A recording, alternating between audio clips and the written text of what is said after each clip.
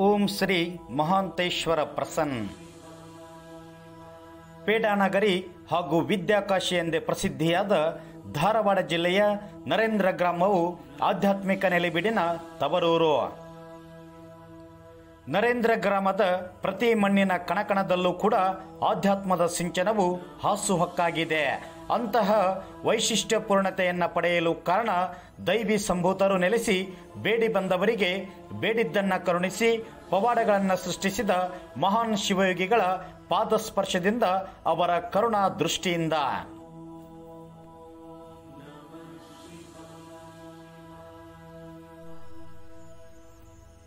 ಈ ಭೂಮಿಯ ಮೇಲೆ ಅನ್ಯಾಯ, ಅಕ್ರಮ, ಅಧರ್ಮ, ಅಶಾಂತಿ ತಲೆದೋರದಂತೆ ಹಾಗೂ ಅದೊಂದು ವೇಳೆ ಅಂಥ ಪ್ರಸಂಗ ಬಂದಾಗಲೆಲ್ಲ ಈ ಭುವಿಗೆ ಭಗವಂತನು ಮನುಷ್ಯ ರೂಪದಲ್ಲಿ ಜನ್ಮ ತಳೆದು ಮಾನವ ಕುಲದ ಉದ್ಧಾರಕ್ಕೆ ಭುವಿಗಿಳಿದು ಬಂದೇ ಬರುತ್ತಾನೆ.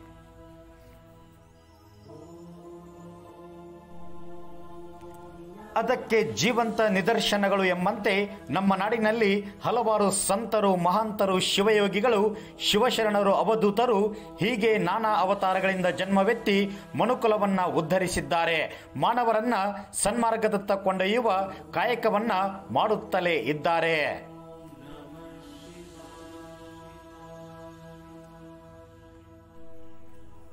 ಅಂತಹ ಮಹಾನ್ ದೈವಿ ಸಂಭೂತರಲ್ಲಿ ಎದ್ದು ಕಾಣುವ ಮತ್ತೊಬ್ಬ ಪವಾಡ ಪುರುಷ ಧಾರವಾಡ ತಾಲೂಕಿನ ನರೇಂದ್ರ ಗ್ರಾಮದ ಶಿವಶರಣ ಮಹಾಂತ ಶಿವಯೋಗಿಗಳು ಕೂಡ ಪ್ರಮುಖರಲ್ಲಿ ಒಬ್ಬರು.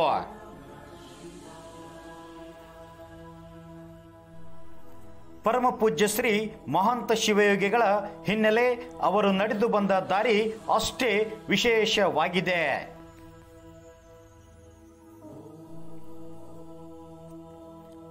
ಬಾಗಲಕೋಟೆ ಬಳಿಯ ಶಿರೂರು ಗ್ರಾಮದ ಶಿಕ್ಷಕರಾದ ಚನ್ನಬಸಯ್ಯ ಮತ್ತು ಪತ್ನಿ ಗುರುಲಿಂಗಮ್ಮನವರ ಉದರದಲ್ಲಿ ಹತ್ತೊಂಬತ್ತು ನೂರ ಹದಿನೆಂಟು ಫೆಬ್ರವರಿ ಮೂರರಂದು ಜನಿಸಿದ ಮಹಾಂತಯ್ಯ ಮನೆಯಲ್ಲಿನ ಬಡತನದಿಂದ ಬಾಗಲಕೋಟೆ ದೇಸಾಯಿಯವರ ಮನೆಯಲ್ಲಿದ್ದು ತಮ್ಮ ಬಾಲ್ಯದ ಶಿಕ್ಷಣವನ್ನು ಸಂಪೂರ್ಣಗೊಳಿಸಿದರು.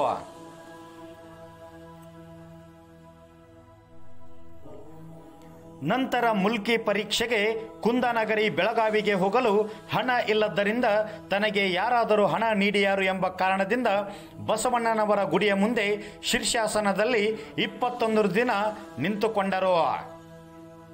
ಅದೇ ಸಂದರ್ಭದಲ್ಲಿ ಕೆಲವರ ನಿಂದನೆ ಕೋಪಕ್ಕೀಡಾದರೂ ಕೂಡ ತಮ್ಮ ಹಠ ಮಾತ್ರ ಎಂದಿಗೂ ಬಿಟ್ಟು ಕೊಡಲೇ ಇಲ್ಲ. ಬಾಲಕ ಮಹಾಂತನ ಹಠ ಕಂಡ ಗ್ರಾಮದ ಎಲ್ಲ ಜನರು ಸೇರಿ ಮೂರು ನೂರು ರೂಪಾಯಿಗಳನ್ನು ನೀಡಿದರು.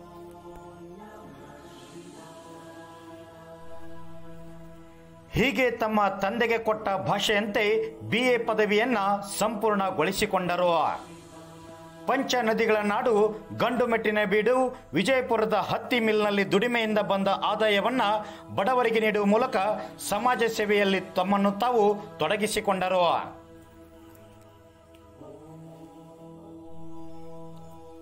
ಜನರ ಕಷ್ಟಗಳನ್ನು ಕಂಡ ಮಹಂತರು ತೊಂದರೆಯಲ್ಲಿದ್ದವರಿಗೆ ಸರ್ಕಾರದ ಸೌಲಭ್ಯಗಳನ್ನು ಒದಗಿಸಿಕೊಡುವುದು ಮಾತ್ರವಲ್ಲದೆ ಶಿಕ್ಷಣ ಮತ್ತು ಕಾಯಕದ ಮಹತ್ವವನ್ನು ಜನರಿಗೆ ತಿಳಿಸಿಕೊಟ್ಟರು. ತದನಂತರ ತಮ್ಮ ನೌಕರಿಯನ್ನ ಬಿಟ್ಟು ತಂಗಡಿಗಿ ಗ್ರಾಮಕ್ಕೆ ಬಂದು ಅಲ್ಲಿಯೂ ನೆಲೆ ನಿಲ್ಲದೆ ಕೂಡಲ ಸಂಗಮಕ್ಕೆ ಬಂದು ಸಾಧನೆಯಲ್ಲಿ ತಮ್ಮನ್ನು ತಾವು ತೊಡಗಿಸಿಕೊಂಡರು.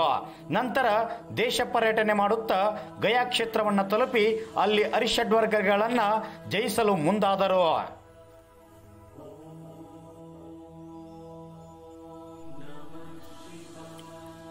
ತದನಂತರ ನವಲಗುಂದಕ್ಕೆ ಬಂದ ಮಹಾಂತ ಸ್ವಾಮೀಜಿಗಳು ನಾಗಲಿಂಗನ ಸಮಾಧಿಯ ದರ್ಶನವನ್ನ ಗೈದು ನಂತರ ಸೌದತ್ತಿಯ ಯಲ್ಲಮ್ಮನ ಗುಡ್ಡಕ್ಕೆ ತೆರಳಿ ರೇಣುಕಾದೇವಿಯ ದರ್ಶನವನ್ನ ಮಾಡಿಕೊಂಡರು.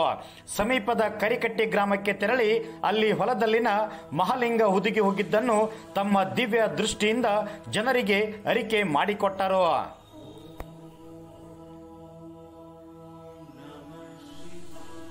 ತಾವು ಹೋದ ಕಡೆಯಲ್ಲಿ ಜನರಲ್ಲಿ ಅಡಗಿರುವ ಅಂಧಕಾರ ಅಜ್ಞಾನಗಳನ್ನು ದೂರ ಮಾಡಲು ನಿರಂತರವಾಗಿ ಪ್ರಯತ್ನಿಸಿದ ಹಠಯೋಗಿ ಅಲ್ಲಿಂದ ಹುಬ್ಬಳ್ಳಿಗೆ ಆಗಮಿಸಿ ಸಿದ್ಧಾರೂಢರ ದರ್ಶನವನ್ನು ಪಡೆದುಕೊಂಡರು.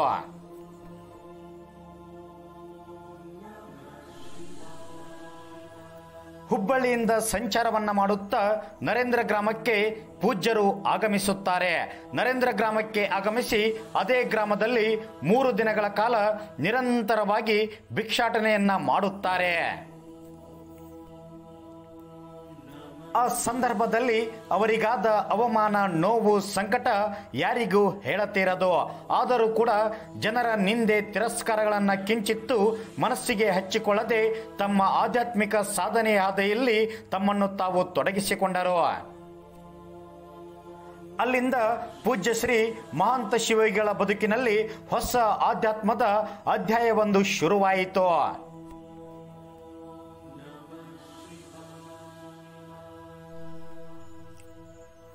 ಊರ ಮುಂದಿರುವ ಮುಳ್ಳು ಕಂಟೆಗಳ ನಡುವೆ ಮುಸುಕು ಹಾಕಿಕೊಂಡು ಮುರಿದು ಬಿದ್ದ ಶಿವಾಲಯ ಅವರ ಕಣ್ಣಿಗೆ ಕಂಡಿತು ಮಠದಲ್ಲಿನ ಈಶ್ವರ ಮೂರ್ತಿಯನ್ನ ಅಪ್ಪಿಕೊಂಡು ಮುದ್ದಾಡಿದರು, ನಲಿದಾಡಿದರು. ಅಂದೇ ತಮ್ಮ ಸಾಧನಾ ಕ್ಷೇತ್ರ ಇದೆ ಎಂದು ತೀರ್ಮಾನಿಸಿದರು. ಈ ಸಂದರ್ಭದಲ್ಲಿ ಸರ್ಪವೊಂದು ಕಾಣಿಸಿಕೊಂಡು ಶ್ರೀಮಠದ ಜೀರ್ಣೋದ್ಧಾರ ಮಾಡುವಂತೆ ಹೇಳಿ ಕಣ್ಮರೆಯಾಯಿತು.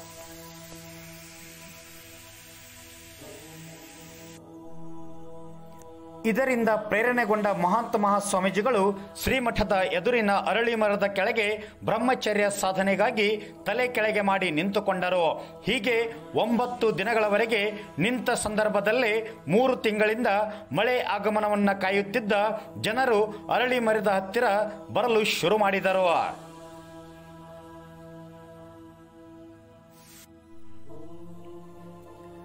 ನಮ್ಮೂರಿಗೆ ಮಳೆ ಬಾರದಿರಲು ಈ ಸ್ವಾಮೀಜಿಯೇ ಕಾರಣ ಎಂದು ಶ್ರೀ ಗುರುವನ್ನ ನಿಂದಿಸಿದರು ಹಾಗೂ ಹೀಯಾಳಿಸತೊಡಗಿದರು ಗ್ರಾಮಕ್ಕೆ ಬರಗಾಲ ಬರಲು ಇವರೇ ನೇರ ಕಾರಣ ಎಂದು ಚುಚ್ಚಿ ಚುಚ್ಚಿ ಮಾತನಾಡಿದರು.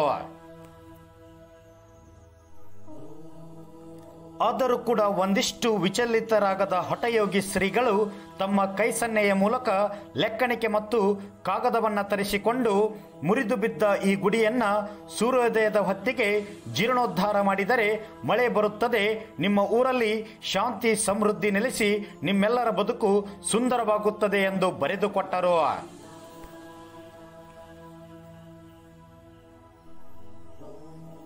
ಮೊದಮೊದಲು ಅನುಮಾನದಿಂದ ನೋಡಿದ ಜನರು ಆಗಿದ್ದು ಆಗಲಿ ನೋಡೆಯೇ ಬಿಡೋಣ ಎಂದು ಬೆಳಕಾಗುವುದರೊಳಗೆ ಗುಡಿಯ ಸಂಪೂರ್ಣ ಜೀರ್ಣೋದ್ಧಾರ ಕಾರ್ಯವನ್ನ ಮಾಡಿ ಮುಗಿಸಿದರು. ಮುಗಿಸಿದ ತಕ್ಷಣ ಅದೇ ದಿನ ಸಂಜೆ ಧಾರಾಕಾರವಾಗಿ ಮಳೆ ಸುರಿಯತೊಡಗಿತು. ಹಳ್ಳಕೊಳ್ಳಗಳು ತುಂಬಿ ತುಳುಕಾಡಿದವು. ಜನರ ಎದೆಯಲ್ಲಿ ಹರ್ಷದ ಬುಗ್ಗೆ ಹರಿಯಲಾರಂಭಿಸಿತು.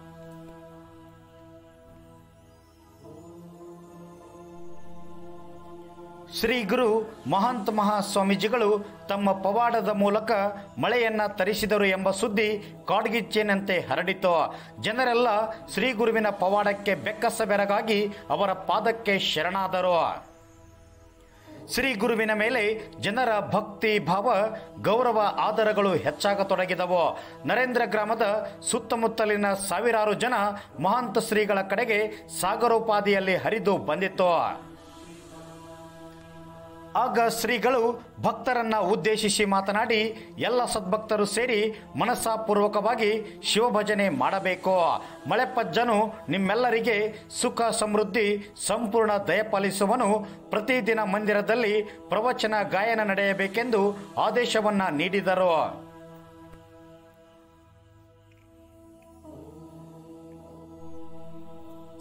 ಮಹಾಮೌನ ವ್ರತಧಾರಿಯಾದ ಮಹಾಂತ ಶಿವಯೋಗಿಗಳೆಂದರೆ ಊರಿನವರಿಗೆಲ್ಲ ಅತ್ಯಂತ ಪ್ರೀತಿಯೇ ಈ ಮಧ್ಯೆ ಪವಿತ್ರ ಕಾಶಿ ಯಾತ್ರೆಯನ್ನು ಕೈಗೊಂಡು ನಂತರ ನರೇಂದ್ರಕ್ಕೆ ಆಗಮಿಸುತ್ತಾರೆ.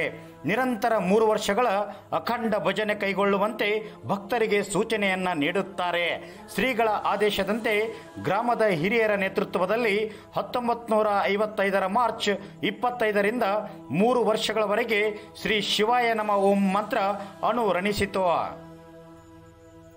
ಇದೇ ಸಂದರ್ಭದಲ್ಲಿ ತಮ್ಮ ಅನೇಕ ಲೀಲೆಗಳನ್ನು ಜಗತ್ತಿಗೆ ತೋರ್ಪಡಿಸಿದರು ಪರಮ ಪೂಜ್ಯ ಶ್ರೀ ಮಹಾಂತ ಶಿವಯೋಗಿಗಳು.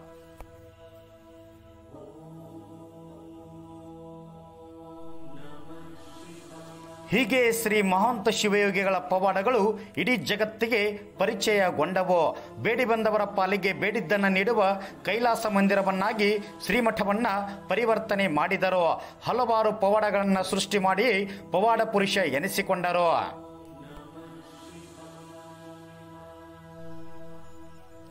ಹೀಗೆ ಲೋಕೋದ್ಧಾರಕ್ಕಾಗಿ ಶ್ರಮಿಸಿದ ಸ್ವಾಮೀಜಿಯವರು ಹತ್ತೊಂಬತ್ತು ನೂರ ಅರವತ್ತೈದು ಜನವರಿ ಹದಿನೆಂಟರಂದು ಲಿಂಗೈಕ್ಯರಾದರು.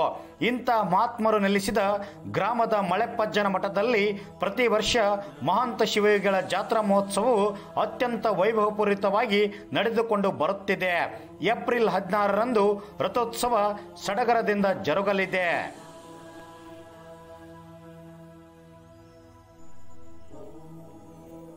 ಇನ್ನು ಇಂದಿನ ಶ್ರೀಮಠದ ಧರ್ಮದರ್ಶಿಗಳಾದ ಪರಮ ಪೂಜ್ಯ ಶ್ರೀ ಸಂಗಮೇಶ ಮಹಾಸ್ವಾಮೀಜಿಗಳು ಶ್ರೀ ಗುರುವಿನ ಆಶಯದಂತೆ ಶ್ರೀಮಠದ ಎಲ್ಲ ಜವಾಬ್ದಾರಿಗಳನ್ನು ಅತ್ಯಂತ ನಿಷ್ಠೆಯಿಂದ ಶ್ರದ್ಧಾ ಭಕ್ತಿಯಿಂದ ಮುನ್ನಡೆಸಿಕೊಂಡು ಹೋಗುತ್ತಿರುವುದು ನಿಜಕ್ಕೂ ಶ್ಲಾಘನೀಯವಾದದ್ದು.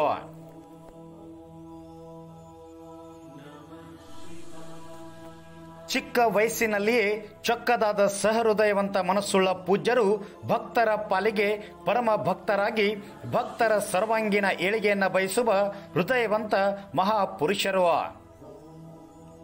ಸರಳ ಸಜ್ಜನಿಕೆಯನ್ನೇ ತಮ್ಮ ಆಭರಣವನ್ನಾಗಿ ಮಾಡಿಕೊಂಡು ಜನಸಾಮಾನ್ಯರಲ್ಲಿ ಬೆರೆಯುವ ಅವರ ಶಾಂತ ಗುಣಕ್ಕೆ ಅವರೇ ಸರಿಸಾಟಿ. ಪರಮ ಪೂಜ್ಯ ಶ್ರೀ ಸಂಗಮೇಶ ಮಹಾಸ್ವಾಮೀಜಿಗಳು ತಮ್ಮ ನಿಷ್ಕಲ್ಮಶ ಹೃದಯವಂತಿಕೆಯಿಂದ ಸರ್ವ ಸಕಲ ಸದ್ಭಕ್ತರ ಹೃದಯವನ್ನ ಕದ್ದವರು ಹಾಗೂ ಗೆದ್ದವರು.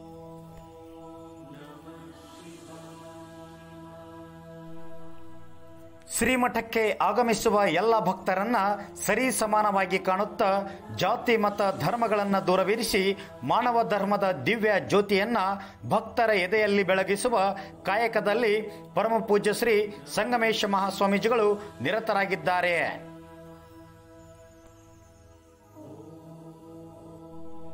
ಇಂತಹ ಮಹಾ ಚೈತನ್ಯಶಾಲಿ ಪೂಜ್ಯರನ್ನು ಪಡೆದ ನರೇಂದ್ರ ಗ್ರಾಮದ ಸಕಲ ಸದ್ಭಕ್ತರು ಹಾಗೂ ಧಾರವಾಡ ಜಿಲ್ಲೆಯ ಎಲ್ಲ ಭಕ್ತರ ಪುಣ್ಯವೆಂಬಂತೆ ಕಾಯಕದಲ್ಲಿ ಕೈಲಾಸವನ್ನ ಕಂಡ ಶಿವ ಶರಣರಿವರು.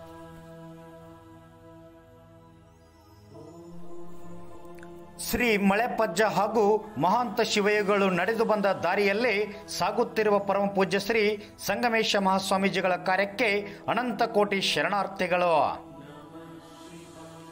ಪ್ರತಿ ವರ್ಷದಂತೆ ಈ ವರ್ಷವೂ ಕೂಡ ಶ್ರೀ ಮಳೆಪಜ್ಜ ಹಾಗೂ ಶ್ರೀ ಮಹಾಂತ ಶಿವಯೋಗಿಗಳ ಅರವತ್ನಾಲ್ಕನೇ ಜಾತ್ರಾ ಮಹೋತ್ಸವವನ್ನು ವೈಭವಪೂರಿತವಾಗಿ ಆಚರಿಸಲು ಈಗ ಸನ್ನದ್ಧರಾಗಿದ್ದಾರೆ. ಪರಮ ಪೂಜ್ಯ ಶ್ರೀ ದುಂಡಯ್ಯ ಮಹಾಸ್ವಾಮೀಜಿಗಳು ಹಾಗೂ ಶ್ರೀಮಠದ ಧರ್ಮದರ್ಶಿಗಳಾದ ಪರಮ ಪೂಜ್ಯ ಶ್ರೀ ಸಂಗಮೇಶ ಮಹಾಸ್ವಾಮೀಜಿಗಳ ಸನ್ನಿಧಿಯಲ್ಲಿ ಮಹಾರಥೋತ್ಸವ ಜರುಗಲಿದೆ.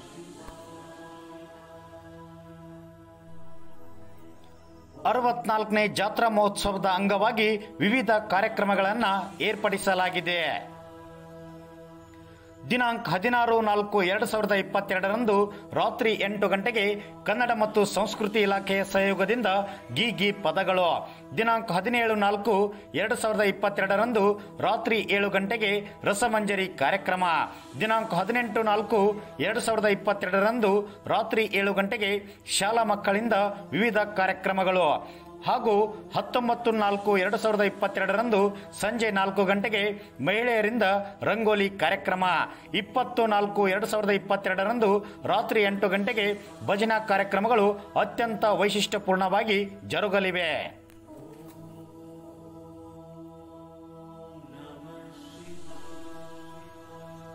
ಧಾರವಾಡ ಜಿಲ್ಲೆ ಧಾರವಾಡ ತಾಲೂಕಿನ ಸುಕ್ಷೇತ್ರ ನರೇಂದ್ರ ಗ್ರಾಮದ ಶ್ರೀ ಮಳೆಪಜ್ಜ ಹಾಗೂ ಶ್ರೀ ಮಹಾಂತ ಶಿವಯೋಗಿಗಳ ಜಾತ್ರಾ ಮಹೋತ್ಸವಕ್ಕೆ ಸ್ವಾಗತವನ್ನು ಕೋರುವರು ಪರಮ ಪೂಜ್ಯ ಶ್ರೀ ದುಂಡಯ್ಯ ಮಹಾಸ್ವಾಮೀಜಿಗಳು ಹಾಗೂ ಶ್ರೀಮಠದ ಧರ್ಮದರ್ಶಿಗಳಾದ ಪರಮ ಪೂಜ್ಯ ಶ್ರೀ ಸಂಗಮೇಶ ಮಹಾಸ್ವಾಮೀಜಿಗಳು ಹಾಗೂ ಶ್ರೀ ಮಳೆಪಜ್ಜನ ಮಠ ಅಭಿವೃದ್ಧಿ ಟ್ರಸ್ಟ್ ಕಮಿಟಿ ನರೇಂದ್ರ ಹಾಗೂ ಗ್ರಾಮದ ಎಲ್ಲ ಯುವಕ ಮಂಡಳಗಳು ಮತ್ತು ಸಕಲ ಸದ್ಭಕ್ತರು.